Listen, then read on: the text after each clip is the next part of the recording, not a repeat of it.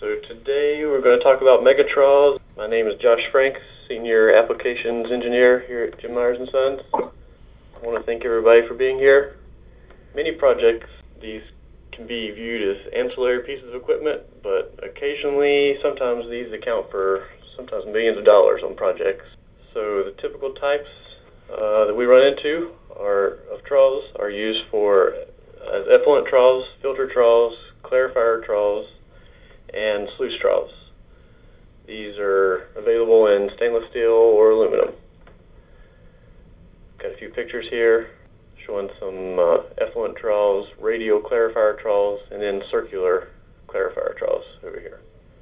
So effluent troughs are used in large sedimentation basins with plenty of settling time.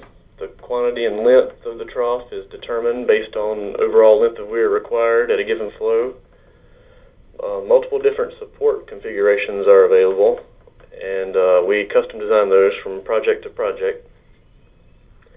Uh, sometimes design of both the trough and supports uh, this takes some risk out of the hands of the consulting engineers, so they don't have to design it themselves. We can supply multiple different configurations of troughs and circular clarifiers. Um, you can see over here to the left we have uh, radial troughs. Here in the middle we're showing some steel, stainless steel or aluminum around the perimeter. And then on the right we're showing some weir and baffle if there happens to be a concrete trough. Uh, the 10 state standards give some criteria for size and spacing of filter troughs. Most of the, many times, I guess filter manufacturers supply these, but uh, JMS can be involved for rehabs or of existing installations, or if the filter manufacturer doesn't have a stainless steel option for some reason.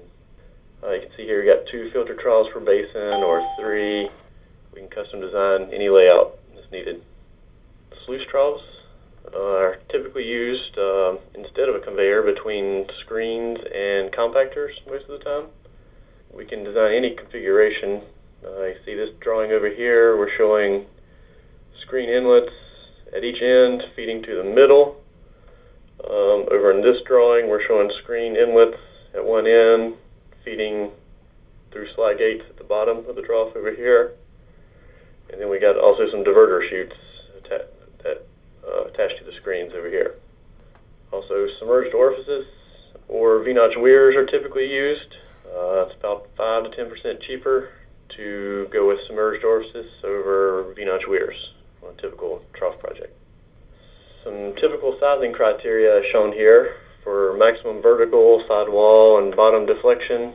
Uh, at a given flow, we typically use this chart to determine the width and height, and then from there we uh, design the shell thickness and external stiffeners as needed on a project by project basis. Uh, sometimes engineers want to design troughs themselves and let them be picked up in miscellaneous metal specs, but they may not realize some of the risks associated with that, especially when seismic is involved and harmonic oscillations have to be accounted for. So our main competition on these is fiberglass troughs, uh, such as from manufacturers such as MFG, Nefco, Enduro, and others. Some advantages we have over those are that we can provide, well actually we can provide in round bottom multi-tangent brakes, as you can see here, or flat bottoms. We can provide in 50 foot long sections. We have access to a 50 foot long brake that should give us some financial advantage over competitors who might have to form in smaller sections and then weld it in their shop. Um, stainless steel and aluminum have su superior resistance to UV degradation. Uh, stainless steel and aluminum can span nearly any distance between supports with an appropriate shell thickness and external stiffener configuration. Uh, I think fiberglass might have some trouble with that. And stainless steel and aluminum will not splinter or damage other equipment like fiberglass may at end of life. Uh, here we have a project spotlight from a recent project in Yorba Linda, California. There were, uh, it was about $200 million worth of horizontal flocks and $300 million dollars worth of troughs in the sedimentation basin. You can see here the basins were quite large.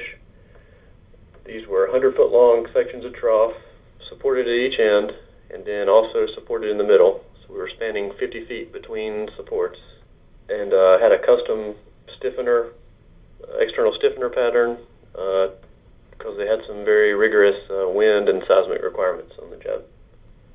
So to summarize, our Mega-TROUGHs are available in stainless steel and aluminum.